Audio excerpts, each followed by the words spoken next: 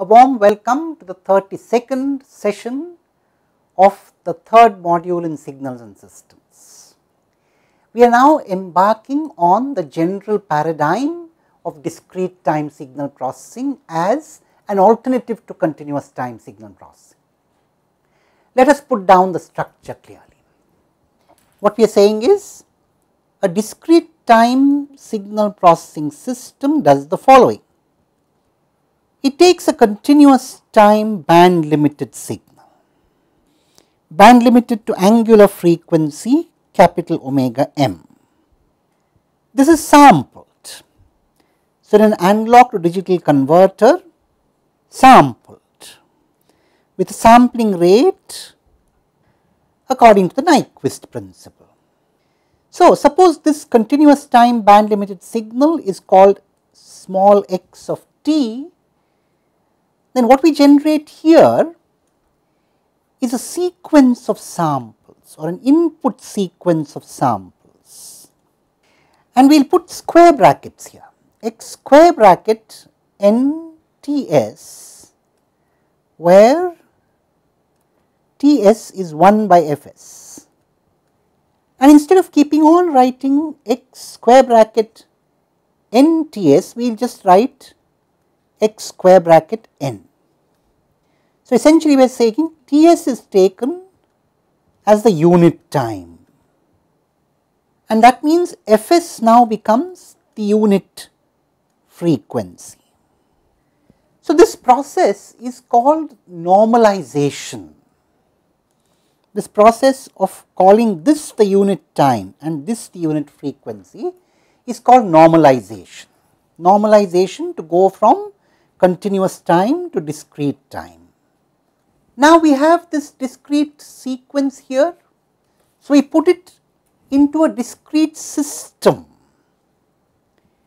and the discrete system has an impulse response as usual. Of course, here we are talking about a linear shift invariant discrete system. And it generates the output sequence. yn is related to xn through convolution with hn. And uh, you know the expression for convolution. Or of course, you could interchange the role of h and x, you already know all those properties of convolution. Now, the issue is what is this discrete time system in relation to the equivalent continuous time system that we want to operate.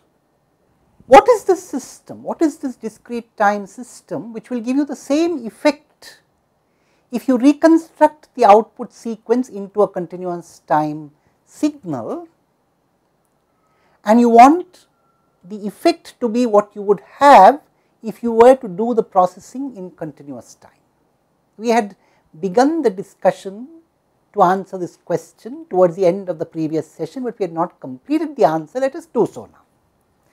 So, what we are saying is, you had this original paradigm. You wanted to process it with a continuous time system and uh, of course, it is linear shift invariant, it has a frequency response, its frequency response is capital H of omega. And you wanted to produce a continuous time output signal. Now, of course, the output signal has to be band limited. And we also saw that we are quite safe if we just restrict this to minus to plus omega and that is what will give us the discrete system. So, all that we need to do to get the discrete system is take the underlying continuous system that you wanted to operate, restrict it to minus capital omega m to plus capital omega m and then treat that as the frequency response of the discrete time system. So simple. So, let us put it down clearly. We are saying that in this system that we had here. Essentially, the Fourier, the discrete time Fourier transform, capital H of omega of the sequence Hn, well actually we should be writing capital H of the small omega. because we want to normalize. So, we should strike out that capital omega and write small omega. That is the first change we need to make. And the discrete time Fourier transform of this is essentially the continuous time Fourier transform capital H omega restricted and then normalized. Now, let us draw that properly. So, what I am saying is the following. You had this original frequency response capital H of omega as a function of the angular frequency omega. Now, it may extend all over capital omega. However, we restrict it, we chop it down. So, you know if you had something like this as capital H omega, you cut it down. And now we have this, whatever it be. Now, this omega m maps to pi or rather not omega m, you know that in principle we have sampled at omega s on the angular frequency axis. So, let us draw omega s on the same axis. You know that omega s by 2 was more than omega m. And therefore, we should in fact broaden our perspective a little. Although this particular signal is band limited to capital omega m, we can admit signals which are band limited to less than capital omega s pi 2. So, instead of chopping it down to this region, we could actually bring it all the way up to minus omega s by 2 to plus omega s by 2. We can retain that, why throw it away? So, we keep up to there. And now all this which I am marking in green is what we have kept. So, this thing and therefore, now it is not omega m which maps to pi, but omega s by 2 which maps to pi, a slight change and therefore, minus omega s by 2 maps to minus pi here.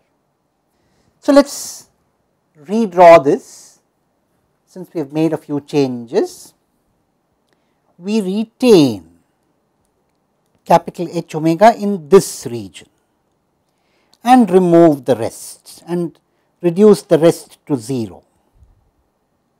Omega s by 2 maps to pi, small omega equal to pi and minus capital omega s by 2 maps to small omega equal to minus pi on account of normalization.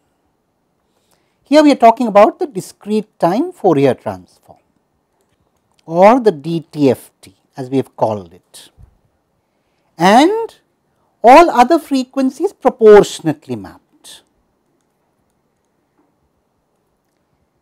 And that gives us capital H of small omega, the frequency response of the discrete time system. now we are all equipped. We can now take as we did the input stream of samples or input sequence x of n, process it with this h of omega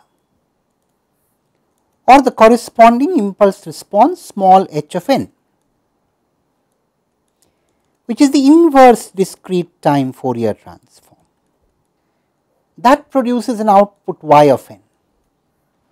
Now, subject this to digital to analog conversion or reconstruction and there we get the desired output y. So, that is very interesting. What we were trying to do in continuous time, we can now do with an equivalent discrete time system. And why is this a good idea? All this discrete processing the system with frequency response capital H of small omega in discrete time can be realized on a computer. Changing the system is essentially changing a computer program, not changing components. Not only that you can make the upgrade the system, you can simplify the system all that is essentially changing a computer program or a microprocessor program. It does not require you to reconfigure components or to buy new components. This was the whole power of sampling and reconstruction, not just to sample, reconstruct or to transmit, but being able to do processing in a totally different way. We will see more of this in the next session. Thank you.